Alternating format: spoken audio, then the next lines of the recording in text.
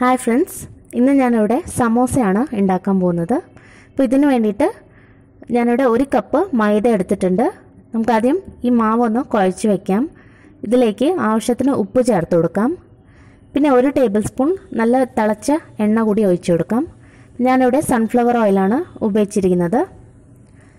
ഇതെല്ലാം കൂടിയിട്ട് നല്ലതുപോലെ ഒന്ന് മിക്സ് ചെയ്തെടുക്കാം.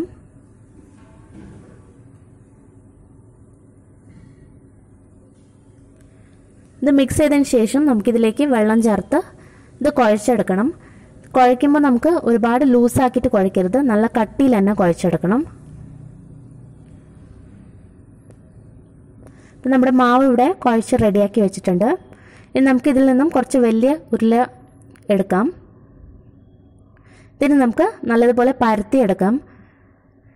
ഇതിവിടെ ഞാൻ നല്ലതുപോലെ പരത്തി എടുത്തിട്ടുണ്ട് നല്ല കനം കുറഞ്ഞിട്ട് വേണം പരത്തി എടുക്കാനായിട്ട് ഇനി ഇത് നമുക്കൊരു സ്ക്വയർ ഷേപ്പിലേക്ക് കട്ട് ചെയ്തെടുക്കാം. ഇതിന്റെ സൈഡ്സ് ഇതേപോലെ കട്ട് ചെയ്ത് മാറ്റാം. ഇനി ഇത് നമുക്ക് ഒരു ചൂടായിട്ടുള്ള ഒരു തവയിലേക്കിട്ട് ഒന്ന് ചൂടാക്കി എടുക്കണം. അപ്പോൾ ഇത് വളരെ കനം കുറച്ചിട്ടാണ് പരത്തിയിരിക്കുന്നത്. ഇതേപോലെ വേണം നമ്മളിത് പരത്തിയെടുക്കാൻ. അപ്പോൾ ഇത് ഒരു തവയിലേക്കിട്ട് ഒരു രണ്ട് മിനിറ്റ് ഇതേപോലെ ഒന്ന് രണ്ട് സൈഡും ഒന്ന് ചൂടായാൽ മാത്രം മതി.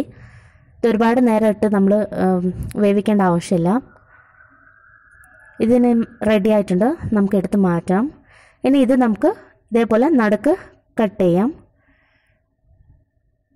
ഇപ്പം നമ്മുടെ സമോസയുടെ ഷീറ്റ്സ് റെഡി ആയിട്ടുണ്ട്. ഇതേപോലെ വേണം നമ്മൾ എല്ലാ ഷീറ്റ്സും റെഡിയാക്കി എടുക്കാൻ. അപ്പോൾ നമുക്ക് സമയമുള്ളപ്പോൾ ഇതേപോലെ ഷീറ്റ്സ് ഉണ്ടാക്കി വെച്ച് നമുക്ക് പെട്ടെന്ന് തന്നെ സമോസ ഉണ്ടാക്കാൻ പറ്റും. ഇതേപോലെ എല്ലാ ഷീറ്റ്സും റെഡിയാക്കി വെക്കാം. ഇനി നമുക്ക് മസാലയ്ക്ക് വേണ്ടിയിട്ട് ഒരു വലിയ സവാള അരിഞ്ഞു വെച്ചിട്ടുണ്ട്. പിന്നെ ഒരു ചെറിയ ക്യാരറ്റും എടുത്തിട്ടുണ്ട്. ക്യാരറ്റ് വേണമെങ്കിൽ നമുക്ക് ഗ്രേറ്റ് ചെയ്തും ചേർക്കാം. പിന്നെ ഉരുളക്കിഴങ്ങ് വേണം. ഞാനിവിടെ ഒരു മൂന്ന് ഉരുളക്കിഴങ്ങ് വേവിച്ച് വെച്ചിട്ടുണ്ട്. പിന്നെ കുറച്ച് ഗ്രീൻ പീസും വേവിച്ച ഗ്രീൻ പീസാണ്. അര ടീസ്പൂൺ ജിഞ്ചർ ഗാർലിക് പേസ്റ്റ് വേണം. കുറച്ച് കരിവേപ്പില. മുളക് പൊടി അര ടീസ്പൂൺ.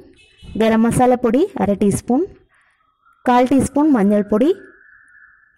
കാൽ ടീസ്പൂൺ മല്ലിപ്പൊടി.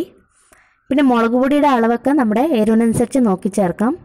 പിന്നെ ഇതുകൂടാതെ നമുക്ക് ഇതിലേക്ക് ബീൻസും ക്യാബേജൊക്കെ ചെറുതായി അരിഞ്ഞും ചേർക്കാവുന്നതാണ്. അപ്പോൾ അതൊക്കെ നമ്മുടെ ഇഷ്ടം പോലെ ചേർക്കാം. അതേപോലെ ക്യാരറ്റ് വേണമെങ്കിൽ നമുക്ക് ഗ്രേറ്റ് ചെയ്തും ചേർക്കാം. ഒരു പാനിലേക്ക് നമുക്ക് സവാളയും കരിവേപ്പിലയും ചേർത്തൊന്ന് വഴറ്റിയെടുക്കാം.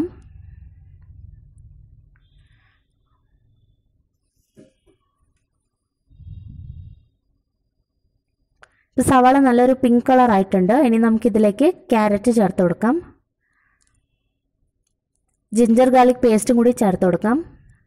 ഇനി ഇത് നല്ലതുപോലെ ഒന്ന് വഴറ്റിയെടുക്കണം. ക്യാരറ്റ് വേവാനുണ്ട്. ഇപ്പോൾ ഒരു അഞ്ച് മിനിറ്റ് ഇതേപോലെ വഴറ്റിയെടുക്കാം. നമ്മുടെ ക്യാരറ്റൊക്കെ നല്ലതുപോലെ വെന്തിട്ടുണ്ട്. ഇനി ഇതിലേക്ക് പൊടികൾ ചേർത്ത് കൊടുക്കാം. പൊടികൾ ചേർത്ത് തീ ഒന്ന് കുറച്ചതിന് ശേഷം നല്ല ലോ ഫ്ലെയിമിലിട്ട് ഇത് നല്ലതുപോലെ ഒന്ന് വഴറ്റിയെടുക്കാം.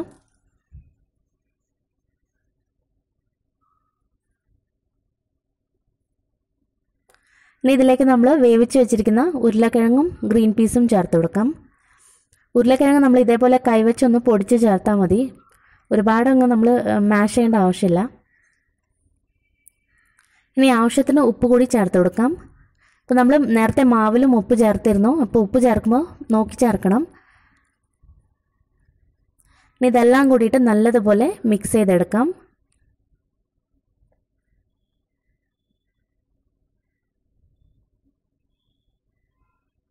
ഇപ്പം നമ്മുടെ മസാലയും റെഡി ആയിട്ടുണ്ട്.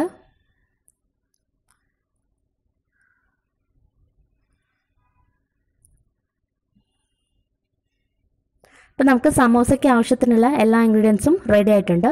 നമുക്ക് സമോസ ഉണ്ടാക്കാം. അപ്പോൾ ഇത് ഒരു ടേബിൾ സ്പൂൺ മൈദയിലേക്ക് കുറച്ച് വെള്ളം ഒഴിച്ച് ഒന്ന് മിക്സ് ചെയ്ത് വെച്ചതാണ്. ഒരു പശയ്ക്ക് വേണ്ടിയിട്ട് നമുക്ക് ഈ ഷീറ്റ്സ് ഇതേപോലെ എടുത്ത് ഒരു കോൺ ഷേപ്പിൽ ഇതേപോലെ ഫോൾഡ് ചെയ്തെടുക്കുക.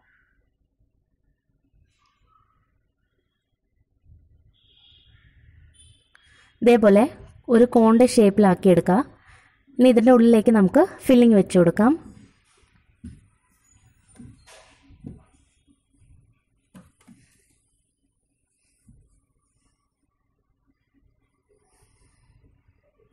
ഫില്ലിംഗ് ഇട്ട് നല്ലതുപോലെ ഒന്ന് പ്രസ് ചെയ്തെടുക്കുക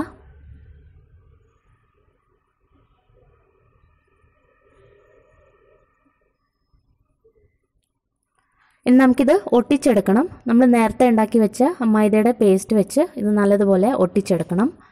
ഇപ്പോൾ എല്ലാ സൈഡ്സും ഈ പേസ്റ്റ് ഇതേപോലെ തേച്ച് കൊടുക്കുക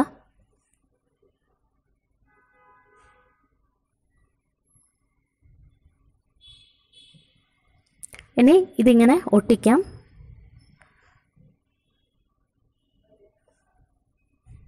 ഇനി മുകൾ ഭാഗം നമുക്ക് സീൽ ചെയ്യണം. കുറച്ചും കൂടി നമ്മൾ ഈ പേസ്റ്റ് ഇതേപോലെ ഒട്ടിച്ചതിന് ശേഷം ഇതേപോലെ പ്രസ് ചെയ്ത് കൊടുക്കുക ഇതേപോലെ ഏതൊക്കെ സ്ഥലത്താണോ ഇതേപോലെ നമുക്ക് കാണുന്നത് എല്ലാ സൈഡ്സും ഇതേപോലെ ഒട്ടിച്ചു കൊടുക്കുക ഒട്ടും ഗ്യാപ്പ് ഉണ്ടാവാൻ പാടില്ല. എല്ലാ സൈഡ്സും ഇതേപോലെ സീൽ ചെയ്ത് എടുക്കണം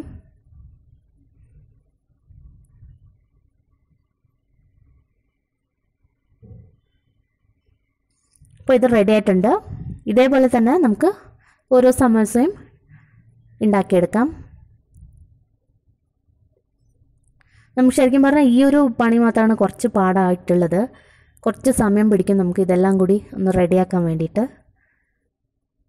അപ്പോൾ നമുക്ക് ഫ്രീ ആയിട്ടുള്ളപ്പോഴൊക്കെ നമുക്ക് ഇതേപോലെ ഈ സമൂസയുടെ ഷീറ്റ്സ് ഉണ്ടാക്കി വെച്ചെങ്കിൽ നമുക്ക് ഫ്രിഡ്ജിലെടുത്ത് വെച്ചാൽ മതി. ഒരു കവറിലിട്ടിട്ട് അപ്പോൾ നമുക്ക് ആവശ്യത്തിന് മസാല ഉണ്ടാക്കിയിട്ട് ആ സമയത്ത് നമുക്ക് സമോസ ഉണ്ടാക്കാൻ പറ്റും. അപ്പോൾ അത് കുറച്ചും കൂടി ഈസി ആയിരിക്കും.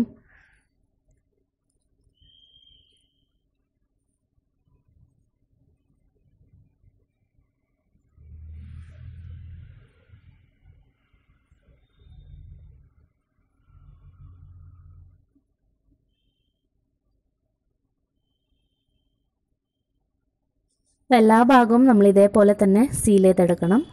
ഒട്ടും ഗ്യാപ്പ് ഉണ്ടാവാൻ പാടില്ല. ഗ്യാപ്പ് ഉണ്ടാകുമ്പോൾ ചിലപ്പോൾ നമ്മളത് എണ്ണയിലിടുമ്പോഴേക്കും എല്ലാം ഫില്ലിംഗ് എല്ലാം പുറത്ത് വരും.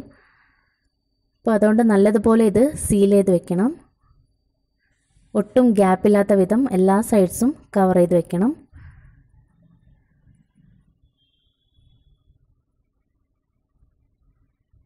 അപ്പോൾ ഇതേപോലെ എല്ലാ സമൂസയും ഞാനിവിടെ റെഡിയാക്കി വെച്ചിട്ടുണ്ട്.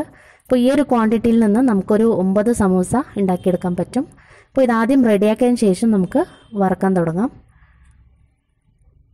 ഇപ്പോൾ നല്ല ചൂടായിട്ടുള്ള എണ്ണയിലേക്ക് നമുക്ക് ഓരോ സമോസയും ഇട്ട് കൊടുക്കാം. ഈ സമോസ ഇട്ട് കഴിയുമ്പോൾ ഫ്ലെയിം ഒരു മീഡിയം ഫ്ലെയിമിൽ വെച്ചിട്ട് വേണം വറുത്തെടുക്കാൻ. അപ്പോൾ ഇത് തിരിച്ചും മറിച്ചും ഇട്ട് നല്ല ഒരു ഗോൾഡൻ കളർ വരുന്നത് വരെ നമ്മളിത് ഫ്രൈ ചെയ്തെടുക്കുക. ഇപ്പോൾ രണ്ട് സൈഡും നല്ല ഗോൾഡൻ കളർ ആവണം അതുവരെ നമുക്ക് ഇത് ഇതേപോലെ തന്നെ എണ്ണയിലിട്ട് വറുത്തെടുക്കാം. ഇപ്പോൾ ഇത് നല്ല ഗോൾഡൻ കളർ ആയിട്ടുണ്ട് ഇനി നമുക്ക് എണ്ണയിൽ നിന്ന് എടുത്ത് മാറ്റാം. ഇതേപോലെ തന്നെ നമുക്ക് ബാക്കിയുള്ള എല്ലാ സമോസയും വറുത്തെടുക്കാം.